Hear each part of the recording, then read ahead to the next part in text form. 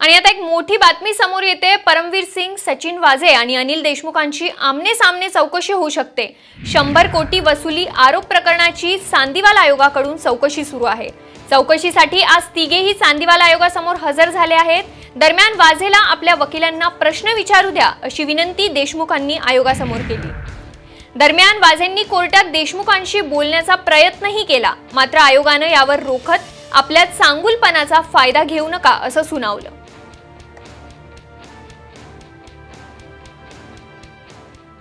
या बातमी संदर्भात अधिक अपडेट्स देत आहेत. आमचे प्रतिनिधी सूरज सावंत. काय अधिक अपडेट्स आहेत सूरज?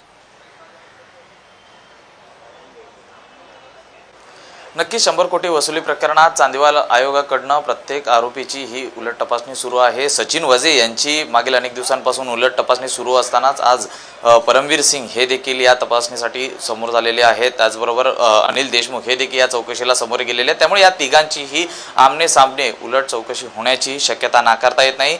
आज कोर्टात वाजेंची उलट तपासणी घेण्यास परवानगी द्यावी. चार पाच प्रश्न आहेत ते महत्त्वाचे आहेत ते विचारायला परवानगी मिळावी अशी अनिल देशमुखांच्या वकिलांनी देखील विनंती केली. मात्र थोड्या वेळानंतर अनिल देशमुख यांनी देखील हात जोडून वाजेंना काही प्रश्न विचारायचे आहेत. माझ्या वकिलांना तर परवानगी द्यावी अशी विनंती केली होती आणि कोर्टाने एका तासानंतर या संदर्भात उलट तपासणी होईल असं देखील नोंदवलेलं आलेलं आहे. मात्र त्याचबरोबर काल जो प्रकार झाला तो म्हणजे सचिन वाजे आणि परमवीर सिंग यांच्या भेटीचा जो एक तास भेट झाली त्याबाबत गृहमंत्र्यांनी चौकशीचे आदेश तर दिलेच आहेत. मात्र आज चालू चांदीवाल आयोगांनी देखील या संपूर्ण प्रकरणावर निरीक्षण नोंदवत नाराजी व्यक्त केलेली आहे. त्याचबरोबर वाजे अ, कोर्टाबाहेरील सुरक्षेची जबाबदारी ही त्यांच्या एस पी यू कमांडोची आहे.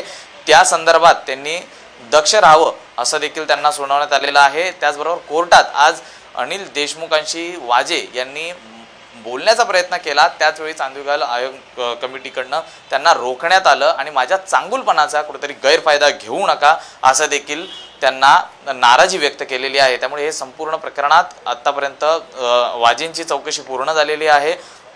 अनिल देशमुखांची उलट तपासणी आता होणार आहे. मात्र आता ह्या या संपूर्ण प्रकरणात आता परमवीर सिंग देखील उपस्थित असल्याने या तिघांची ही उलट तपासणी समोरासमोर होण्याची शक्यता देखील नाकारता येत नाही.